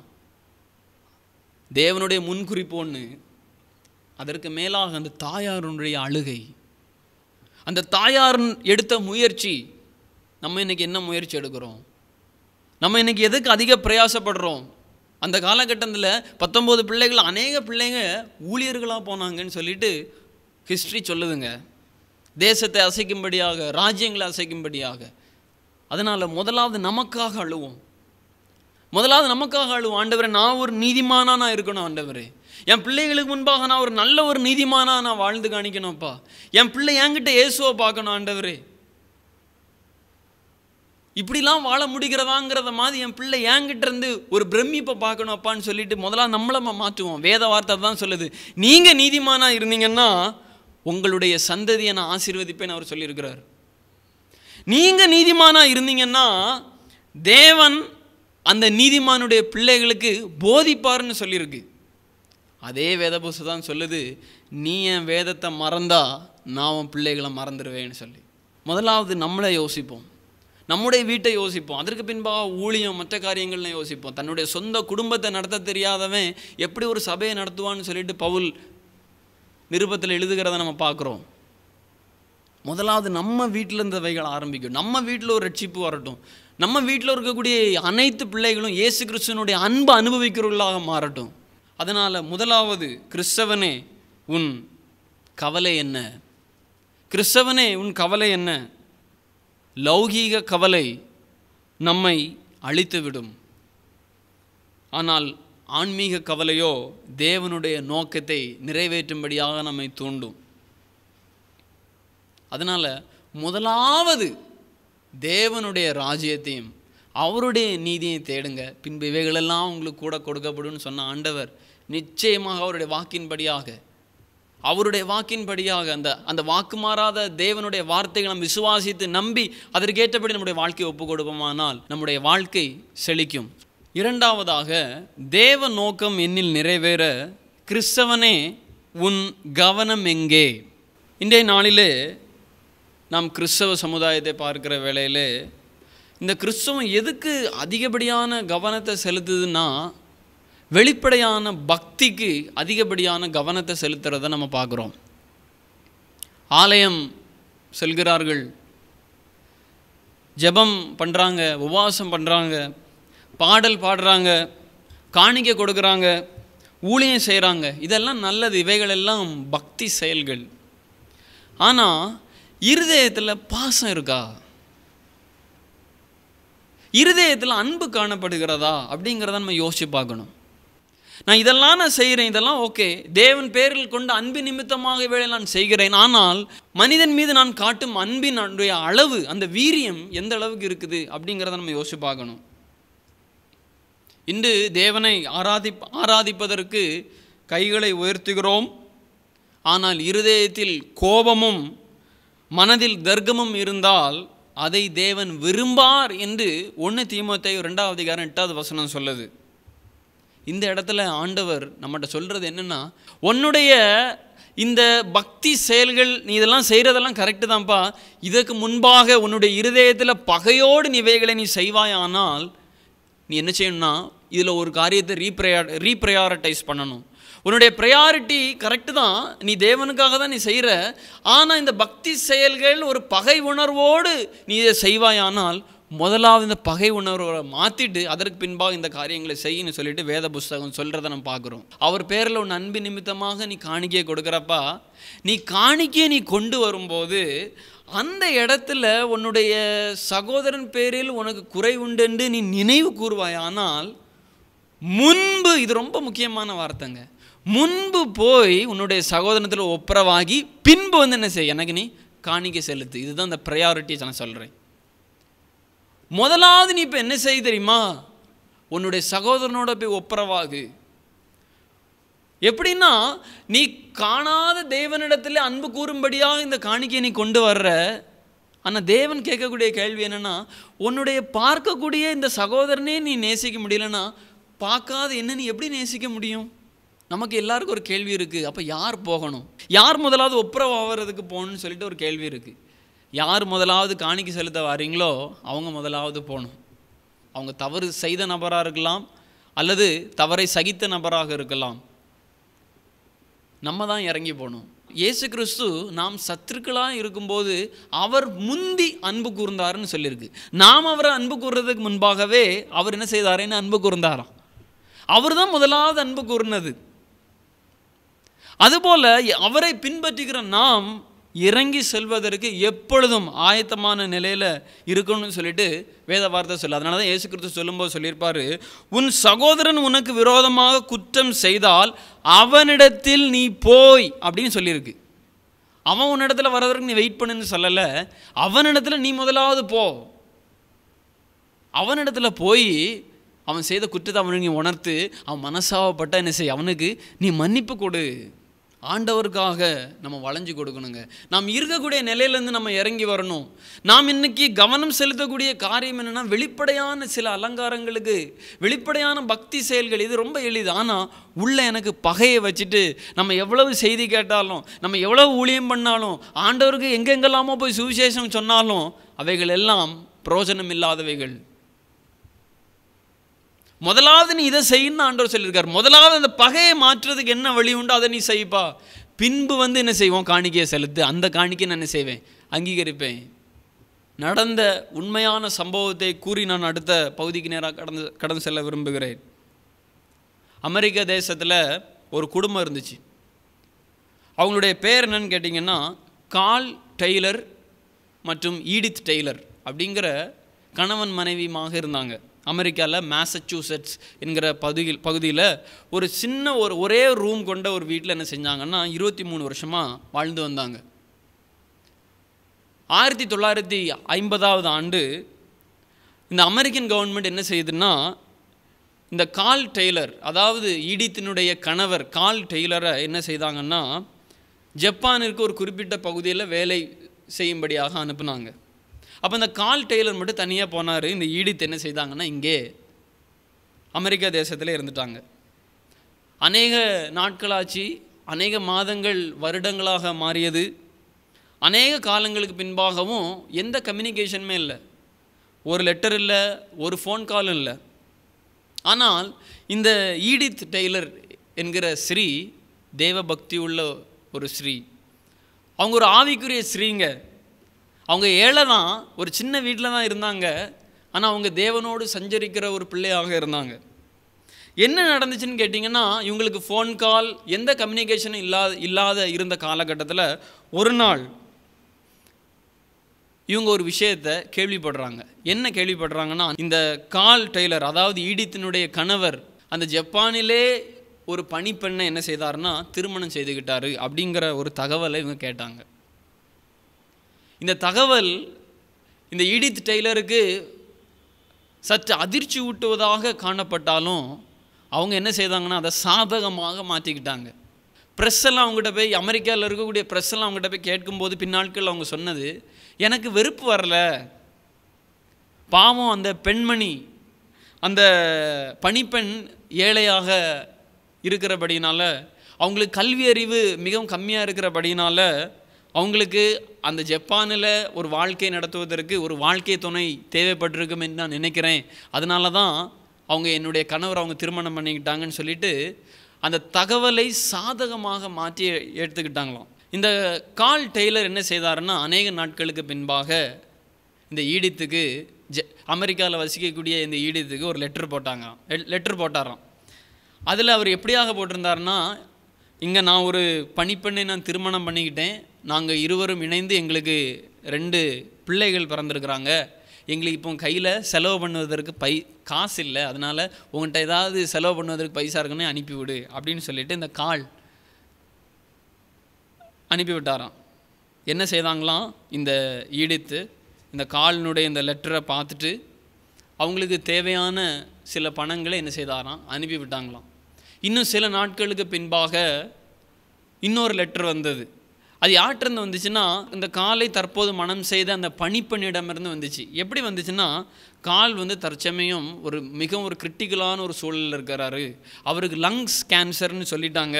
அதனால் அவரை வந்து மீட்பதற்கு அவருக்கு மருத்துவம் பார்ப்பதற்கு என்கிட்ட காசு இல்லை. உங்கள்கிட்ட ஏதாவது காசு இருக்குமானா நீங்கள் அனுப்பி விடுங்க அப்படின்னு சொன்ன உடனே இவங்க என்ன செய்தாங்கன்னா இவங்க ரொம்ப கஷ்டப்பட்டு வாங்கின அவங்களுடைய வீட்டை விற்று இவங்க ஒரு சாதாரண ஒரு வாடகை வீட்டில் இருந்து அந்த பைசாவெல்லாம் சேர்த்து யாருக்கு அனுப்பி விட்டாங்களாம்? அந்த காலுக்கு அனுப்பி விட்டாங்களாம். இருந்த பொழுதும் இந்த பைசா எல்லாம் செலவு செய்து அங்கே அனுப்பிவிட்ட போதும் அதில் எந்த விதமான பயன் இல்லாமல் ஆயிட்டு இந்த கால் என்ன செய்தாருன்னா லங்ஸ் கேன்சர் மூலமாக இறந்து போனார். இப்போ ஈடித்துக்கு அப்படியே விட்டுருக்கலாம் இல்லையா? இவங்க அதை அப்படியே விட்டுருக்கலாம். ஆனால் இவங்க என்ன செய்தாங்கன்னா ஒரு தேவனுடைய ஒரு சீஷியாக இருந்தபடினால தேவனுடைய பிள்ளையாக இருந்தபடினால இவங்க மற்றவர்கள் மீது மனந்துருக்கத்தின் ஆவியினால் நிரப்பப்பட்டு அந்த பணிப்பெண்ணிற்கும் காலிற்கும் பெறப்பட்ட அந்த ரெண்டு பிள்ளைங்க என்ன செய்வாங்க? இந்த பணிப்பெண் தன்னுடைய சொந்த முயற்சினால் அந்த அந்த ரெண்டு பிள்ளைகளையும் படிக்க வைக்க முடியாதுன்னு சொல்லிட்டு அந்த ரெண்டு பிள்ளைங்களையும் இவங்க கூட்டி சேர்த்து தன்னுடைய வீட்டில் அடைக்கலம் கொடுத்து வாடகை வீட்டில் அடைக்கலம் கொடுத்து அமெரிக்காவிலே இந்த ரெண்டு பிள்ளைகளையும் படிக்க வச்சாங்களாம். அநேக நாட்கள் கடந்தது. அநேக காலங்கள் கடந்து போச்சு. அந்த பிள்ளைங்கள்லாம் ஓரளவு பெருசாகி வந்துட்டாங்க. இப்போ அந்த பணிப்பெண் ஜப்பான்லேயே தான் இருக்கிறாங்க. கால் இறந்து போனார். ஈடித்து அமெரிக்காவில் இருக்காங்க. அந்த காலுக்கும் அந்த பணிப்பெண்ணும் இணைந்து பெறப்பட்ட ரெண்டு பிள்ளைகள் ஈடித்தோட அமெரிக்காவில் இருக்கிறாங்க. இப்போ என்ன ஆகிப்போச்சுன்னா இந்த ஈடித்து பயங்கரமாக பலவீனம் அடைந்தார் ஆனால் இந்த வீட்டில் இருக்கக்கூடிய வாலிப பிள்ளைகளை பராமரிக்கிறதுக்கு ஆட்கள் தேவைப்பட்டுச்சு. இந்த ஈடுத்து என்ன தெரியுமா செய்தாங்க? என்னை விட இந்த வாலிப நாட்களில் வந்திருக்கக்கூடிய இந்த பிள்ளைகளை நன்றாக கவனிக்க முடியும்னா என்னை விட ஒரு சிறப்பாக கவனிக்க முடியும்னா அது ஒரே ஒரு நபரால் தான் முடியும். அது யாருன்னா இவங்க ரெண்டு பேருடைய தாயார். யாருன்னா ஜப்பானில் இருக்கக்கூடிய இவங்களுடைய தாயார் தான் என்ன செய்ய முடியும்? இவங்களை கவனிக்க முடியும். அவங்க மீது அன்பு கொண்டு அவங்களுக்காக ஜெபம் பண்ணி அவங்கள என்ன செஞ்சாங்கன்னா அமெரிக்காவுக்கு கூப்பிட்டாங்க. அவங்களும் அமெரிக்காவினுடைய விமான நிலையத்தில் வந்து சேர்ந்தாங்க. அவங்க அந்த விமானத்திலேருந்து இந்த படியில் இறங்கி வரும்போது என்னுடைய இருபத்தி மூணு வருஷ விவாக வாழ்க்கையை அளித்தவள் என்னுடைய கணவனையும் என்னுடைய குடும்பத்தையும் என்னுடைய வருங்காலத்தையும் என்னுடைய சொத்தையும் என்னுடைய ஆரோக்கியத்தையும் அளித்தவள் இவ தான் அப்படின்னு சொல்லிட்டு இவங்களுக்கு சிந்திக்கிறதுக்கு அநேக விதமான நியாயமான காரியங்கள் இருந்துச்சு இல்லையா? எல்லாத்தையும் இவா தான் அழிச்சா. இதுக்கு எல்லாத்துக்கும் காரணம் இவா தான் நான் இன்னைக்கு இந்த நிலைமையில் இருக்கேன்னு காரணம் இவா தான் அப்படிதான் அப்படிலாம் நினைக்கிறதுக்கு அவங்களுக்கு நிறைய வாய்ப்புகள் இருக்குது இல்லையா? ஆனால் இவங்க அப்படிலாம் ஒன்றுமே நினைக்கல. அவங்க வரவும் அந்த விமான நிலையத்திலே அவங்கள க கழுத்தை தன்னுடைய கைகளால் தழுவி அவங்கள கட்டி அணைச்சாங்களாம். இதை பார்த்த அந்த பணிப்பெண் மனம் உடைஞ்சாங்களாம். அவளுடைய உடல் மெய் செலுத்ததான் ஏன்னா இப்படிப்பட்ட ஆட்கள் இந்த உலகத்தில் எங்கே இருக்கிறாங்கங்கிறத மாதிரி அவங்க அழுதாங்களாம். அவங்க கட்டி பிடிச்சி அழுதாங்களாம். அவங்கள்ட்ட சொன்னாங்களாம் உங்ககிட்ட நான் இயேசுவை நான் பார்க்குறேன். நான் இயேசுவை பற்றி நான் கேள்விப்பட்டிருக்கிறேன். ஆனால் அந்த இயேசு இப்படிப்பட்டவர் தான் அப்படிங்கிறத உங்களுடைய செயல் மூலமாக நான் பார்க்குறேன்னு சொல்லிட்டு அவங்கள கட்டி பிடிச்சி அழுதாங்களாம். அந்த விமான நிலையத்திலே அந்த பணிப்பெண் கிறிஸ்துவை ஏற்றுக்கொண்டாள். காரணம் என்ன தெரியுமா? மன்னிப்பு. எந்த ஒரு காரியத்தையும் செய்யாதபடிக்கு மன்னிப்பு ஜீவியம் மாற்றப்பட்டது. அந்த பணிப்பெண்ணுடைய ஜீவியம் மாற்றப்பட்டது. ஒரு ஒரு புதிய உறவு புதுப்பிக்கப்பட்டது. ஆனால் அநேக நியாயமான காரியங்கள் யார் பக்கம்தான் இருந்துச்சுன்னா இடித்து பக்கம்தான் இருந்துச்சு. அவங்க அதெல்லாம் மனசில் வைக்காமல் எல்லாத்தையும் மறந்துட்டு தேவனை மட்டும் முன்ன வச்சு அவங்கள ஆதாயப்படுத்தினாங்க. இதுக்கு பேர் தாங்க தேவ நோக்கத்தை நிறைவேற்றுறது. இதில் நம்முடைய கவனத்தை நம்ம இன்றைக்கி செலுத்துவோம். வெறுமனே பக்தி பக்தி பக்தின்னு சொல்லி வெளிப்படையான சில அடையாளங்கள் மட்டும் நம்ம ப- நம்ம கவனத்தை செலுத்திவிட்டு நம்முடைய உள்ளான நிலையில் இந்த பகையை நாம் ஏற்றி கொண்டு இருப்போமானால் அந்த வைராக்கத்தையும் விரோதத்தையும் நாளுக்கு நாள் கூட்டிகிட்டே இருப்போமானால் நிச்சயமாக நம்முடைய பக்தி எல்லாம் தேவனுடைய பார்வையில் அருவருப்பாக இருக்கும். அருவருப்பு தாங்க. வேதத்தை கேளாதபடிக்கு செய்கிற ஜெபம் அவருடைய பார்வைக்கு அருவருப்பானதுன்னு வேத வார்த்தை சொல்லுது. இந்த நிலையை நம்ம அடைஞ்சிருக்கிறோமாங்கிறத நம்ம நம்ம நிச்சயமாக நம்ம யோசிச்சு பார்ப்போங்க. இது இதுக்கு பேர் தாங்க சாட்சி. இப்படிப்பட்ட சாட்சிகள் தான் இன்றைக்கி சபைதனில் எழுமணுங்க எனக்கு முட்டு வலி குணமாச்சு எனக்கு முதுவலி குணமாச்சு என்னுடைய நோய்களை ஆண்டவர் தீர்த்தார் இவைகளெல்லாம் ஆண்டவர் செய்வார். ஆனால் சபைக்கு நான் வரும்போது மன்னிக்க முடியாமல் நான் வந்தேன். சபையில் தேவ ஆவியானவர் என்னோட பேசினார். நான் பலிபிடத்துக்கு முன்பாக அந்த காணிக்கை போடுவதற்கு வருவார் வந்து வந்த வந்த தேவ ஆவியானவர் என்கிட்ட பேசினார். நான் போய் மன்னிப்பு கேட்டு என்ன செய்வேன்? காணிக்க போட்டேன். என்னுடைய உரு என்னுடைய உள்ளத்தில் தேவன் மகத்துவமான ஒரு பயங்கரமான ஒரு மகிழ்ச்சியை கொடுத்தாருங்கிற சாட்சி இன்றைய நாளில் சபை நிலையில் இல்லாமே போயிட்டுங்க. இப்படிப்பட்ட சாட்சி தாங்க வரணும். இன்னைக்கு இப்படிப்பட்டவங்களால தான் தேசத்தில் ஏதாவது ஒரு மாற்றமும் நடக்கும். இப்படிப்பட்டவங்களை கொண்டு தான் ஆண்டவர் ஏதாவது செய்வார். அதனால எதற்கு முக்கியத்துவம் கொடுக்கணுமோ அதில் முக்கியத்துவம் கொடுப்போம். இன்றைக்கி சபையில் பார்த்தீங்கன்னா பக்தி பக்தின்னு சொல்லி பக்திக்கு மட்டும் முக்கியத்துவம் கொடுத்து அன்பை மறந்துட்டாங்க. நல்லா இருக்கக்கூடிய ஆளினுடைய பேரில் என்ன செய்கிறாங்க சந்தேகப்படுறாங்க. சந்தேகப்படுகிற கணவர்கள் கணவனை சந்தேகப்படுகிற மனைவிகள். இந்த சம்பவத்தை கொஞ்சம் யோசிச்சு பாருங்க. சந்தேகப்படுவதற்கு நிறைய சந்தேகம் இல்லை. த தப்பாக தான் அந்த மனுஷன் இருந்தார். ஆனால் இவங்க என்ன தெரியுமா செய்தாங்க? அதையும் சாதகமாக மாட்டிக்கிட்டாங்க. என்னுடைய கணவர் என்னோடு இல்லாவிட்டாலும் வானத்தையும் பூமியும் படைத்த சர்வ வல்ல தெய்வம் என்னோடு இருக்கிறாங்கிற அந்த நிச்சயம் அந்த துடிப்பு அவங்கள்ட்ட இருந்துச்சு. இவங்கள்ட்ட இவங்களை கேட்டது யார் தெரியுமா? இவங்கள்ட்ட இந்த பேட்டியை கேட்டது தெரியுமா? அமெரிக்காவில் இருக்கக்கூடிய ப்ரெஸ் ப்ரெஸ்ஸுக்கு அவங்க கொடுத்த ஒரு பேட்டி தாங்க இது. உண்மையாக நடந்த சம்பவம். அதனால் தாழ்மையாக பணிவோடு கேட்கக்கூடிய காரியம் என்னென்னா கவனம் செலுத்த வேண்டிய காரியத்துக்கு கவனத்தை கொடுப்போம். உன்னுடைய வெளிப்புறம் சுத்தமாகும்படி முதலாவது உன்னுடைய உட்புறத்தை என்ன செய். முதலாவது உன்னுடைய உட்புறத்தை சுத்தமாக்கு அப்படின்னு சொல்லியிருக்காரு. முதலாவது மாற வேண்டியது உள்ளங்க. உள்ளே இருக்கக்கூடிய பகை உள்ளே இருக்கக்கூடிய விரோதம் குரோதம் இதெல்லாம் மாறி போகணும். அதுக்கு பின்பாக நம்முடைய பக்தியின் வாழ்க்கையை நம்ம தொடருவோம். நிச்சயமாக அந்த காரியங்களில் தேவன் நிச்சயமாக உதவி செய்யக்கூடியவராக இருக்கிறார். மூன்றாவது இறுதியாக தேவ நோக்கம் என்னில் நிறைவேற கிறிஸ்தவனே உன் கரிசனை எப்படி? தேவ நோக்கம் என்னில் நிறைவேற கிறிஸ்தவனே உன் கரிசனை எப்படி? நம்ம நம்மளில் இன்னைக்கு அநேகர் கரிசனை கொள்கிறோம். உண்மை சந்தோஷமான காரியம். இந்த கரிசனை வெறும் சொல் அளவிலே மட்டுமே இருக்கிறதா? அல்லது செயல் வடிவிலே மாற்றம் பெறுகிறதா? நம்ம இதில் எதற்கு அதிக முக்கியத்துவம் கொடுக்குறோம்? இதில் எதுக்கு அதிக ப்ரையாரிட்டி கொடுக்குறோம் அப்படிங்கிறத யோசிச்சு பார்க்கணும். வி ஆர் ஸோ சிம்பத்தட்டிக்கல் ஆனால் தேவன் நம்மகிட்ட எதிர்பார்க்கறது நீ ஒரு எம்பத்தட்டிக்கல் பர்சனாக இருக்கணுங்கிறதான் நீ ஒரு செயல்படக்கூடிய கிறிஸ்தவனாக இருக்கணுங்கிறதான் தேவன் நம்மிடத்தில் விரும்புகிறார். வெறுமனே ஆறுதல் படுத்துகிறவர்களாக அல்ல செயல்படுகிறவர்களாக மாறணும்னு ஆண்டவர் விரும்புகிறார் முதலாவது செயல்படு பின்பு ஆறுதல் படுத்து. அதான் தேவனுடைய ப்ரையாரிட்டி முதலாவது நீ செயல்படு அதுக்கு பின்பாக என்ன செய்? நீ நீ வந்து ஆறுதல் படுத்துன்னு சொல்லிட்டு வேத வார்த்தை சொல்லுது. யாக்கோபு அழகாக சொல்லியிருப்பார். யாக்கோபு ரெண்டாவது அதிகாரம் பதினைந்து பதினாறாவது வசனங்களில் ஒரு சகோதரனாவது சகோதரியாவது வஸ்திரம் இல்லாமலும் அனுதின ஆகாரம் இல்லாமலும் இருக்கும்போது ஒருவன் நீங்கள் சமாதானத்தோடே போங்கள் குளிர் காய்ந்து பசியாருங்கள் என்று சொல்லியும் சரீரத்திற்கு வேண்டியவைகளை அவர்களுக்கு கொடாவிட்டால் புரோஜனம் என்ன? வெறுமனே வாறுதல் சொல்லி என்ன செய்கிறோம் இன்றைக்கி அநேகரை நம்ம அனுப்பிடுறோம். ஆனால் நாம் செயல்படுகிறோமா? அவர்கள் அவங்களுக்காக நம்முடைய மனம் அந்த கஷ்டத்துலேயும் அந்த வேதனையிலையும் இருக்கக்கூடிய நபர்களுக்காக நம்முடைய மனம் பரிதபிக்கிறதா? இன்றைக்கி நம்ம எல்லாருமே லாக்டவுனில் இருக்கிறோம். திருச்சபை கூடுகை இல்லை. ஆனால் நம்ம யோசிச்சு பார்க்கணும் நம்ம கிறிஸ்தவங்கன்னு நம்ம சொல்கிறோம் நம்ம ஆராதனைக்கு செல்கிறோம். பாடல்களை பாடுகிறோம். அழிகிற ஆத்மாக்களுக்காக ஜெபிக்கிறவர்களாக இருக்கிறோம்.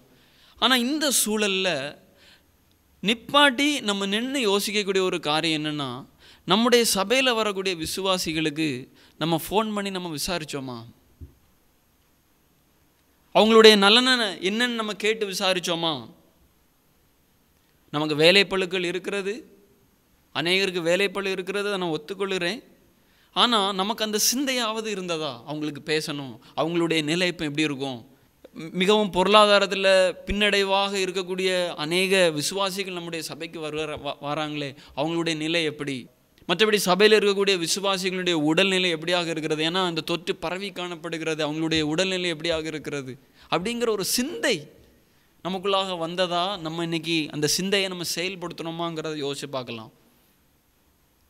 எனக்கு தெரியுங்க எத்தனையோ பேர் எத்தனையோ விசுவாசிகள் இதுக்குன்னே ஒரு விசேஷித்த நேரத்தை ஒதுக்கி ஒவ்வொரு விசுவாசிகளுக்காக ஃபோன் பண்ணி ஃபோன் பண்ணி ஃபோன் பண்ணி அவங்க கேட்குறாங்க தூரத்தில் இருக்கக்கூடிய உறவினர்களோடு பேசுகிறாங்க விடுபட்ட உறவுகளோடு ஃபோன் பண்ணி பேசுகிறாங்க அவங்களுக்கு நேரம் போகலைன்னு சொல்லிட்டு அப்படியாக செய்யலாம் அவங்க இனிஷியேட்டிவ் எடுத்து பண்ணுறாங்க தேவ ஆவியானர் அவங்களுக்கு அப்படிப்பட்ட ஒரு பாரத்தை கொடுத்து செயல்படுத்தவும் செய்கிறாரு நமக்கு இன்னைக்கு அப்படிப்பட்ட கரிசனை இருக்கிறதா?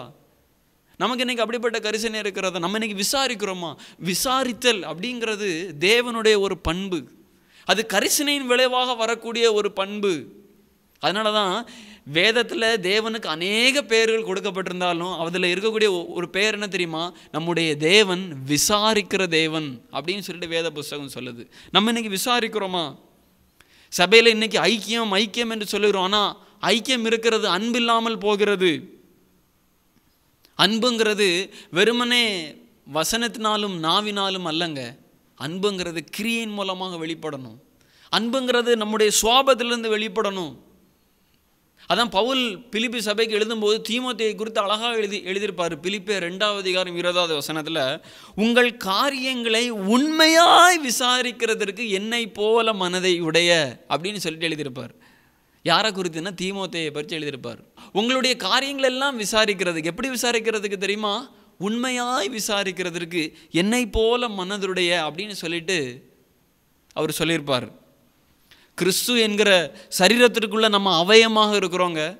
வேத வார்த்தை சொல்லுது ஒரு அவயம் பாடுபட்ட இன்னொரு அவயம் துடிக்காதா? நம்ம எல்லாரும் கிறிஸ்துவின் சரீரத்தில் அவயமாக இருக்கிறோம் நம்ம சொல்கிறோம் ஆனால் கிறிஸ்துவின் சரீரத்தில் இருக்கக்கூடிய அவயம் செயல்படாமல் இருக்குமாங்க? யோசிச்சு பாருங்க. நம்முடைய கரிசன் என்ன? நம்முடைய அக்கறை என்ன?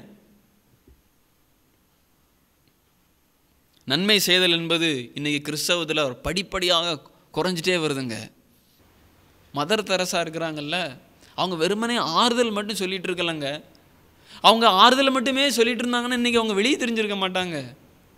அவங்க என்ன தெரியுமா?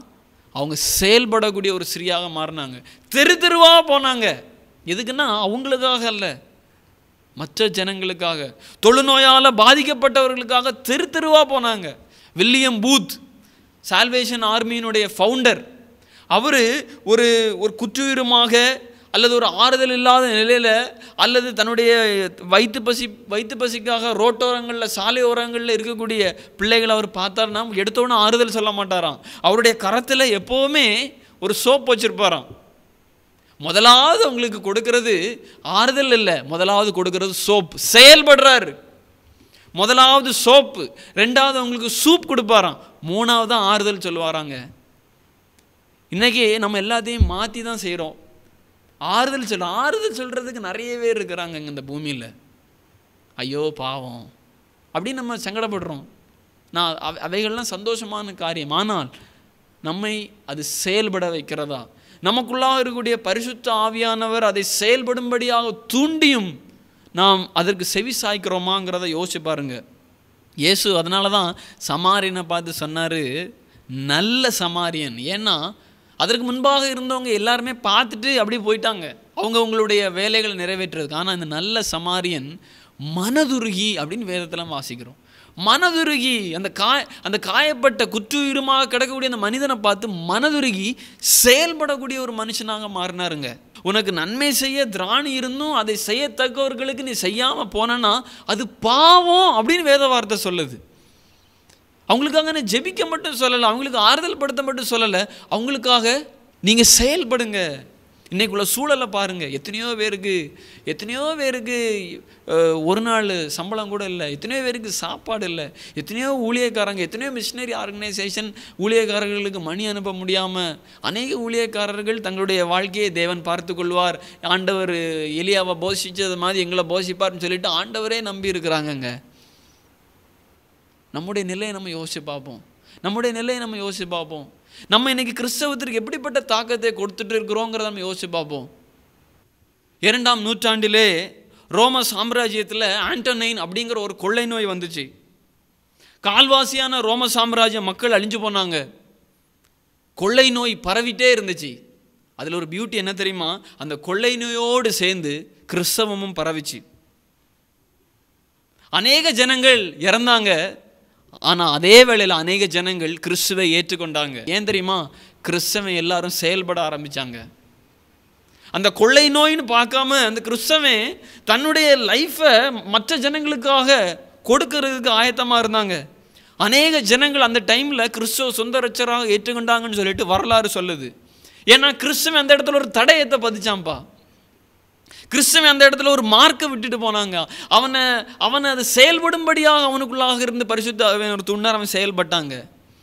அந்த காலகட்டத்தில் வாழ்ந்த மக்கள் கூறினாங்களாம் கிறிஸ்தவன் தனக்கானதை மட்டுமல்ல பிறருக்கான இதையும் தேடுகிறவன் சொல்லிட்டு மக்கள் சொன்னாங்களா. இன்னைக்கு நம்முடைய மக்கள் நம்மளை பார்த்து அப்படி சொல்கிறாங்களா நம்மளை சுற்றி வாழ்கிற மக்கள் நம்மளை பார்த்து அப்படி சொல்கிறாங்களா யோசிச்சு பார்ப்போம். நாம் நன்மை செய்கிறவர்களாக நம்ம இருக்கிறோமா? இயேசு கிறிஸ்து நன்மை செய்கிறவராக சுற்றி திரிந்தார்னு சொல்லியிருக்கே. அவரை பின்பற்றக்கூடிய அவருடைய சீசர்களாகி நாம் நன்மை செய்கிறோமா? நம்முடைய கரிசனை எப்படியா இருக்கு? வெறுமனே சொல்லளவிலா அல்லது செயல் வடிவிலா தேவன் சொல்கிறார் நீ முதலாவது செய். அதுக்கப்புறம் நீ சொல்லு. உன்னுடைய ப்ரையாரிட்டியை மாற்று அப்படின்னு ஆண்டவர் சொல்கிறார் இதே போல் தேர்ட் செஞ்சுரியில் பெரிய ஒரு பொருளாதார பின்னடைவு இதே ரோம சாம்ராஜ்யத்தில் கொள்ளை நோய் நிமித்தமாக வந்தது. அநேகர் கூட்டம் கூட்டமாக மறிச்சாங்க. ஒரு கொள்ளை நோய் நிமித்தமாக. அந்த டைமில் வாழ்ந்த முக்கியமான ஒரு நிபுணர் ராட்னி ஸ்டாக் என்கிற ஒரு மனுஷன் சொல்கிறாரு அவர் சில சில கிராஃப்ஸை எடுத்து பார்த்துட்டு சில ரிசர்ச் பண்ணி அவர் ஒரு சில காரியத்தை அவர் முன்வைக்கிறார். என்ன சொல்கிறாருன்னா கிறிஸ்தவர்கள் அந்த காலகட்டத்தில் எந்தெந்த வட்டாரங்களில் இருந்தார்களோ அங்கு பலி எண்ணிக்கை மிக மிக குறைவு அப்படின்னு ஒரு ஸ்டேட்மெண்ட்டை கொடுக்குறாரு. அப்போ அந்த ரோம சாம்ராஜ்யத்தை ஆண்ட அந்த ரோம சாம்ராஜ்யத்தை ஆட்சி புரிந்த எம்பரர் ஜூலியன் அவர் வந்து பாகாலை வழிபட ஒரு பாகாலை வழிபட்ட ஒரு புறஜாதி. அவர் ஆச்சரியப்பட்டாருங்க. அவர் சொன்னது கிறிஸ்தவர்கள் மட்டும் எப்படி கிறிஸ்தவர் அல்லாத பிறரின் மீது எதிர்பாராது உதவி செய்ய முடிகிறது அப்படின்னு சொல்லிட்டு அவர் ஒரு ஸ்டேட்மெண்ட் கொடுத்தாராங்க. எப்படி கிறிஸ்தவங்களால் மட்டும் கிறிஸ்தவர்கள் அல்லாதவர் மீது பிரதிபலன் பாராதபடிக்கு உதவி செய்ய முடியுது? ஏன்னா கிறிஸ்தவன் அன்னைக்கு செயல்படக்கூடியவனாக மாறினாங்க. ராஜ்யத்தை அவன் அசைச்சாங்க. அவன் தேசங்களை அதிர பண்ணாங்க. அவன் செயல்பட்டான். நம்ம இன்னைக்கு செயல்படுகிறோமா? நம்ம இன்னைக்கு செயல்படுகிறோம். நம்ம இன்னைக்கு கிறிஸ்துவ நம்ம எப்படி வெளிப்படுத்துகிறோம் குடில் கட்டியும் இயேசு கிறிஸ்துவ போல சிலுவ சம்பந்தம் சாட்டையால் நம்மளே நம்ம அடிச்சுக்கிட்டு தான் நம்ம கிறிஸ்துவ வெளிப்படுத்துகிறோம் ஆனால் கிறிஸ்து இப்படி வெளிப்பட விரும்பலைங்க கிறிஸ்து நம்முடைய செயல் வடிவின் மூலமாக வெளிப்பட விரும்புகிறார் நம்முடைய செயல் வடிவின் மூலமாக வெளிப்பட விரும்புகிறாரு ஒரு ஒரு பாரத்தை ஒருவர் சுமக்கிறதுக்காக தாங்க நம்ம இந்த பூமியில் நம்ம வாழ்ந்துட்டு இருக்கிறோம் இது மட்டும் அல்லாதபடிக்கு ஆயிரத்தி ஐநூற்றி இருபத்தி ஏழாம் ஆண்டு விட்டன்பர்க்கில் விட்டன்பர்கில் பயங்கரமான ஒரு கொள்ளை நோய் பரவியது எல் கவர்மெண்ட் சொல்லிட்டு எல்லாருமே என்ன செய்யுங்க? அவங்கவுங்க நாட்டுக்கு ஓடிருங்க. எல்லாருமே தெரிச்சு போயிருங்க. எல்லாருமே ஒரு தஞ்சை ஒரு அடைக்கலத்தை பார்த்து புகுந்துக்காங்கன்னு சொல்லிட்டு கவர்மெண்ட் விட்டுட்டான். இந்த டைமில் அங்கே பயங்கரமான ஒரு ரிஃபர்மேஷனை ஏற்படுத்தின ஒரு ஆள் யாருன்னு கேட்டிங்கன்னா மார்ட்டின் லூதர். இந்த மார்ட்டின் லூதர் என்ன சொன்னார்னா கிறிஸ்தவனே ஓடாதே தடயத்தை ஏற்படுத்து அப்படின்னு ஒரு ஸ்டேட்மெண்ட் சொல்கிறார் கிறிஸ்தவனே நீ மற்றவங்கள மாதிரி நீனும் ஓடாத. நீ என்ன செய்? நின்று நின்று ஒரு தடயத்தை நீ ஏற்படுத்து. நீ ஒரு கிறிஸ்தவ டாக்டராக இருந்தால் உன்னுடைய மருத்துவமனையில் நீ ஒரு தடயத்தை ஏற்படுத்திட்டு அங்கேயே நீ சாவு அப்படின்னு அவர் சொல்கிறாரு நீ ஒரு அமைச்சராக இருந்தால் நீ ஒரு மினிஸ்டராக இருந்தா உன்னுடைய வட்டாரங்கள் உள்ள மக்களுக்கு நீ ஒரு தடயத்தை ஏற்படுத்தி அந்த இடத்துல நீ செத்துப்போ நீ ஒரு போதகராக இருந்தால் உன்னுடைய சபையினுடைய மக்களுக்கு மத்தியில் ஒரு பயங்கரமான ஒரு தாக்கத்தை நீ ஏற்படுத்து. ஒரு தடயத்தை நீ விட்டுட்டு போ அப்படின்னு சொல்லிட்டு அவர் சொல்கிறார் இந்த நோய்களை கண்டு நீ பயப்படாத. தேவனை வெளிப்படுத்து. ஆண்டவரை நீ வெளிப்படுத்து. ஆண்டவரை வெளிப்படுத்து ஆண்டவரை வெளிப்படுத்துவதற்கு தேவன் கொடுத்த நல்ல ஒரு தருணமாக அவர் இந்த காரியத்தை சொல்கிறார் அவர் இன்னும் சொல்கிறாரு யாரும் செய்யாத செயலை செய்பவனே கிறிஸ்தவன் சொல்லிட்டு அவர் ஒரு ஸ்டேட்மெண்ட் சொல்கிறாருங்க ஏனெனில் தேவனுக்காக நான் வாழ்கிறேன் என்பதை காட்ட இது முக்கியமான தருணம் என்று அவர் ஒரு குறிப்பிட்ட ஒரு லெட்டரில் அவர் இப்படியாக எழுதி வச்சிருக்க நம்ம பார்க்குறோம். அப்போ அவங்கெல்லாம் எந்த அளவுக்கு வைராக்கியமாக இருந்திருக்கிறாங்க? அநேகர் இதன் மூலமாக மறிச்சாங்க. மற்றவங்களுக்கு உதவி செய்ததன் மூலமாக மற்றவர்களுக்காக செயல்பட்டதன் மூலமாக. யோசிப்போம். நம்மளும் இன்றைக்கி யோசிப்போம். என்னுடைய தேவனை வெளிப்படுத்துவதற்கு. இந்த இருள் நிறைந்த இந்த சூழலில் என்னுடைய தேவனை வெளிப்படு நீங்கள் தான் வெளிச்சம். நீங்கள் தான் உப்புன்னு சொல்லியிருக்கிறாரு. இந்த தேவனை வெளிப்படுத்துவதற்கு என்னால் என்ன செய்ய முடியும்? என்னால் என்ன செய்ய முடியும்? யோசிப்போம். யோசிப்போம். நம்ம யோசிப்போம். கிறிஸ்தவர்களாகிய நாம் யோசிப்போம். இதை கேட்டுட்டு அப்படி மட்டும் விட்டு விட்டு விடாதபடிக்கு விட்டு விடாதபடிக்கு செயல்படுகிறவர்களாக மாறுவோம் ரீசெண்டாக சிபிஎன் நியூஸ் நான் பார்த்துட்டு இருந்தேன். அப்போ அதில் ஒரு ஒரு ரி- ஒரு ரிப்போர்ட்டர் வந்து தெளிவான சொல்கிறாரு இந்த கோவிட் நைன்டீன் சூழலில் தான் இந்த கொரோனா வைரஸினுடைய காலகட்டத்தில் தான் ஈரான்லேருந்து ஒரு ரிப்போர்ட் அது ஈரானுங்கிறது ஒரு இஸ்லாமிக் கண்ட்ரி அங்கே முஸ்லீம்கள் நிறைந்த ஒரு தேசம் அது. அந்த இடத்துல இருக்கக்கூடிய ஒரு ரிப்போர்ட்டர் அவருடைய பேர் டாக் டாக்டர் மைக் அன்சாரி அப்படிங்கிற ஒரு ரிப்போர்ட்டர் சொல்கிறாரு Iran's Christians are light in the dark times அப்படின்னு சொல்கிறாரு இன்னொரு முறை சொல்கிறேன் Iran's Christians are a light in the dark times அப்படின்னு அவர் சொல்கிறார் அதாவது ஈரானில் வாழ்கிற கிறிஸ்தவர்கள் இருள் நிறைந்த இந்த சூழலில் அவர்கள் ஒளியாக இருக்கிறார்கள் அப்படின்னு சொல்கிறாரு எந்த தேசத்தில் உள்ளவங்க? இஸ்லாம் தேசத்தில் உள்ளவங்க. கிறிஸ்தவத்தை கிறிஸ்தவனை பார்த்து சொல்கிறாங்க நம்ம இன்னைக்கு எப்படிப்பட்ட ஒரு காரியத்தை நம்ம இன்னைக்கு எப்படிப்பட்ட நன்மைகளை நம்ம இன்னைக்கு தேவன் நம்ம எப்படி வெளிப்படுத்துகிறோம் என்ன மாதிரிப்பட்ட தாக்கத்தை நம்ம இன்னைக்கு கொடுக்க விரும்புகிறோம் தேசத்துக்கு? நான் மனபாரத்தோடு செய்ய வேண்டுங்கிற ஒரு துடிப்போடு உங்கள் மத்தியில் நான் பேசுகிறேன் தேவ நோக்கம் நிறைவேறுமா நிறைவேற வேண்டுமானால் நாம் செயல்படணுங்க. நம்ம செயல்பட்டால் தான் தேவன் விரும்புவார். தேவன் எப்போதுமே மற்றவங்க மேலே கரிசனை கொள்ளுகிற அந்த அந்த சுவாபத்தை அவர் விரும்புகிற தெய்வம். பேதுருவை குறித்து அவருடைய வாழ்க்கையில் இருக்கக்கூடிய திட்டத்தை இயேசு கிறிஸ்து விளக்கிட்டே வரார். விளக்கிட்டு அப்படி அழகாக முடிக்கக்கூடிய வேலை பேதுரு கேட்குறார் இவனுடைய காரியம் என்ன? அப்படின்னு கேட்கும்போது இயேசு பேதுருவை கடிந்து கொள்ளுகிறத நம்ம பார்க்குறோம் நம்ம இன்றைக்கி சொல்லலாம் எனக்கே ஒன்றுமே இல்லை பிரதர். எனக்கே பயங்கரமான பிரச்சனையாக இருக்குது நான் எப்படி இதுக்கு இடையில நன்மை செய்ய முடியும்? அப்படின்னு நம்ம சொல்லலாம். யோபை விடையும் பெரிய ஒரு பிரச்சனைக்குள்ளே நம்ம கண்டிப்பாக இருக்க மாட்டோங்க. யோபு அவ்வளோ பிரச்சனைகளின் நடுவுலையும் அவர் என்ன செய்தார்னா தன்னுடைய சிநேகிதருக்காக ஜெபம் பண்ணார். தேவன் யோபுவினுடைய சிறையிருப்பை என்ன செய்தார் தெரியுமா? மாற்றினார் மெக்கதோனியா சபையினரை குறித்து பவுல் சாட்சி கொடுக்குறாரு. அவங்க மிகுந்த உபத்திரவத்தில் இருந்தாங்க. அவங்களுக்கு கொடிய தரித்திரம் பிடித்திருந்தது. அவங்க திராணிக்கு தக்கதாகவும் திராணிக்கு மிஞ்சியும் என்ன செய்தாங்கன்னு தெரியுமா? பரிசுத்தவான்களுக்காக எருசலேமில் வாழ்கிற பரிசுத்தவங்களுக்காக எடுத்து கொடுத்தாங்களாம். எப்படி? பரிபூர்ண சந்தோஷத்தினால. நம்ம இன்னைக்கு சொல்லக்கூடாது என்கிட்ட ஒன்றுமே இல்லையே என்கிட்ட ஒரு தரித்திரமே அப்படிலாம் நம்ம சொல்லவே முடியாதுங்க. தேவனுடைய அன்பு நம்மை நெருக்கி ஏவுமானால் நிச்சயமாக நம்முடைய கைகள் முடங்கி காணப்படாது. அது தாராளமாய் விரியுங்க. நிச்சயமாக விரியும். நம்ம கொஞ்சம் யோசிப்போம். நாம் செயல்படுகிற கிறிஸ்தவனாக நான் இருக்கிறான். நம்முடைய சுகபோக வாழ்வை சுருக்கி ஒருவேளை உணவு கூட இல்லாத பிள்ளைகளுக்கு ஒருவேளை சாப்பாடு கூட இல்லாத பிள்ளைகளுக்கு எத்தனையோ பேர் இருக்கிறாங்க. எதுவும் இந்த மாதிரிப்பட்ட காலகட்டங்களில். அவங்களுக்கு நம்ம உதவி செய்யக்கூடிய பிள்ளைகளாக நம்ம இருப்போம். நம்முடைய கரிசனை என்ன? வெறுமனே சொல் அளவிலா அல்லது செயல் வடிவிலா நம்ம யோசிச்சு பார்ப்போம். அதனால் கிறிஸ்தவர்களாகிய நாம் இன்றைய நாளிலே யோசிக்கக்கூடிய மூன் மூன்று காரியம் என்னென்னா தேவனுடைய நோக்கம் நம் மூலமாக நிறைவேறப்பட வேண்டுமானால் முதலாவது நம்முடைய கவலை நாம் எதற்காக அதிகமாக கவலைப்படுகிறோம் அப்படிங்கிறத யோசிச்சு பார்க்கணும். எனக்குள்ளாக இருக்கிறது லௌகீக கவலையா? அல்லது ஆன்மீக கவலையா? அடுத்தபடியாக தேவனுடைய நோக்கம் நம்முடைய வாழ்விலே நிறைவேற நம்முடைய கவனம் எங்கே இருக்கிறது? நாம் வெறுமனே பக்தியில் மட்டுமே கவனத்தை செலுத்தியவர்களாக இருக்கிறோமா? அல்லது பாசத்தில் நம்முடைய கவனத்தை செலுத்துகிறவர்களாக இருக்கிறோம். பக்தி தேவையில்லைன்னு இல்லை. ஆனால் தேவன் சொல்கிறாரு இருதயத்தில் பாசம் இல்லாதபடிக்கு வெறுமனே பக்தி மட்டும் காணப்படுமானால் அந்த பக்தி அவருடைய பார்வையில் அருவறுப்பாக இருக்கும். அதனால் நம்முடைய ப்ரையாரிட்டியை நம்ம மாற்றணும்னு சொல்லிட்டு ஆண்டவர் விரும்புகிறார் மூன்றாவதாக தேவனுடைய நோக்கம் நம்மில் நிறைவேற நம்முடைய கரிசனை எப்படியாக இருக்கிறது? அது வெறுமனே சொல் அளவில் மட்டும்தான் இருக்கிறா அல்லது செயல் வடிவில் இருக்குதாங்கிறத நம்ம யோசிச்சு பார்ப்போம். நிச்சயமாக தேவன் இந்த வார்த்தைகள் மூலம் அவங்களை ஆசிர்வதிப்பார். நம்ம எல்லாரும் கண்களை மூடி நாம் ஜெபிப்போம். பரிசுத்தமுள்ள பிதாவே சர்வலோக ராஜா ஆண்டவரே எங்களுடைய வாழ்க்கையிலே நீர் அநேக காரியங்களை எங்களோடு நீர் பேசியிருக்கிறதற்காக நன்றி செலுத்துகிறோம் ஆண்டவரே. ஆண்டவரே முதலாவது உம்முடைய ராஜ்யத்தையும் உம்முடைய நீதியும் தேடக்கூடிய பிள்ளைகளாக எங்களை நீங்கள் மாற்றுங்க தெய்வமே எங்களுடைய வாழ்க்கையில் அநேக குறைவுகள் உண்டு ஆண்டவரே. அநேக பின்னடைவுகள் உண்டு தெய்வமே அவைகள் எல்லாவற்றையும் அறிந்து வைத்திருக்கிற தெய்வம் நீரப்பா. அந்த குறைவுகள் எல்லாவற்றையும் நீ நிறைவாக்குங்க தெய்வமே ஆண்டவர் உங்களுடைய சமூகத்தில் எங்களை நாங்கள் அர்ப்பணிக்கிறோம். குடும்பமாக உங்களுடைய சமூகத்தில் நாங்கள் அர்ப்பணிக்கிறோம் ஆண்டவரே. ஆண்டவரே எங்களுக்குள்ளாக நீர் நன்மையான காரியங்களை எங்கள் மூலமாக நீ செயல்பட வேண்டும் என்று நீர் விரும்புகிறீர் ஆண்டவரே. அந் நீர் செயல்படுவதற்கு வேண்டிய முறையிலே நாங்கள் எங்களை நாங்கள் திருத்திக் கொள்ள எங்களை நாங்கள் மாற்றிக்கொள்ள ஆண்டவர் உம்முடைய வார்த்தைக்கு முழுவதுமாக எங்களை நாங்கள் அர்ப்பணிக்க எங்களுக்கு நீங்கள் உதவி செய்யுங்க அப்பா. ஆண்டவரே இந்த கேட்ட இந்த வார்த்தைகளை ஆண்டவரே நாங்கள் கேட்டிருக்கிறோம் இந்த வார்த்தைகளை இவைகளை எங்களுடைய வாழ்க்கையில் அப்பியா அப்பியாசிப்பதற்கு வேண்டிய பொதுவான கிருபைகளையும் பலனையும் கொடுத்து நடத்த முடியாது ஜெபிக்கிறோம். இயேசு கிறிஸ்துவின் மூலம் ஜெபிக்கிறோம். ஜெபம் கேளும் ஜீவன் நல்ல பிதாவே. ஆமென்.